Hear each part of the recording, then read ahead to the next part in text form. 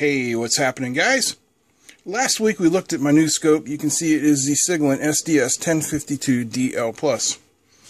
It is a simple 50 megahertz, 500 megasamples per second, two-channel digital storage oscilloscope.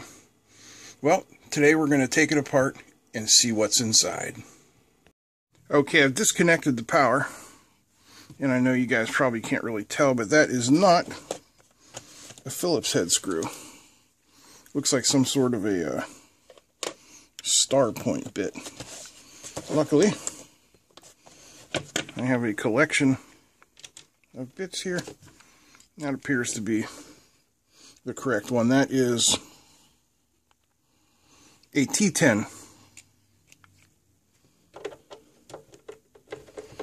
So, we will remove the screws and take the cover off. Okay, I got the four screws out. Now we'll remove the warranty void if removed thingy. Let's see if we can get the cover off.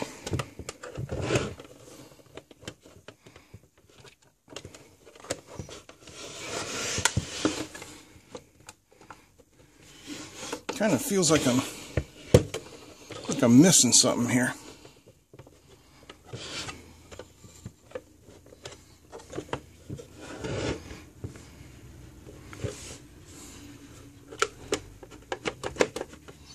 Hmm, back in a moment.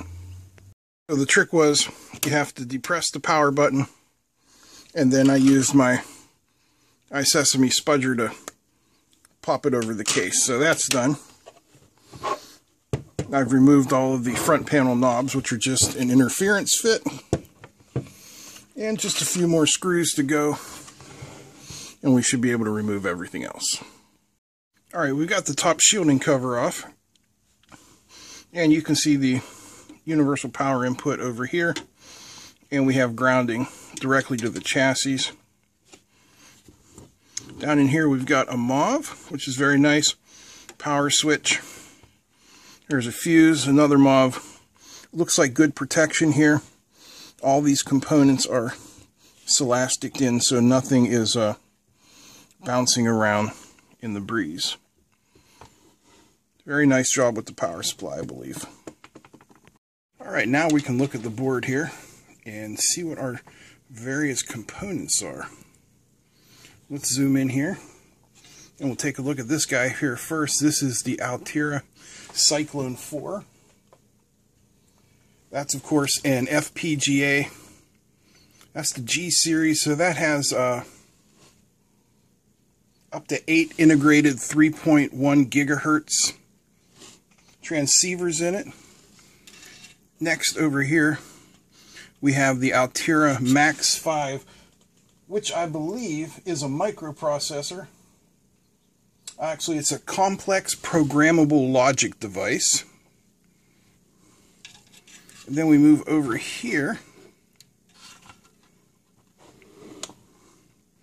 That guy there is a Texas Instruments chip.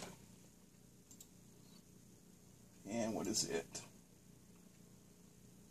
That's a microprocessor. Uh, CAN bus, Ethernet, I squared C, SPI, UART, 32K of cache space. It's a MPU AM335X. It's a RISC processor. Okay, very good.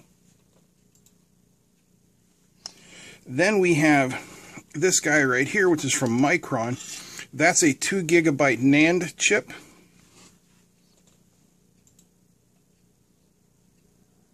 And then we have our 1 gigabyte flash memory there. If we come over here and look, you can see the all of our BNC connections come into this little shielded case here. Then we have our front end here with some op amps and some relays, various switching. And this right here is a 10 pin header, which might be useful for some hacking. This is our Ethernet connector, external swig, external swigger trigger, external trigger.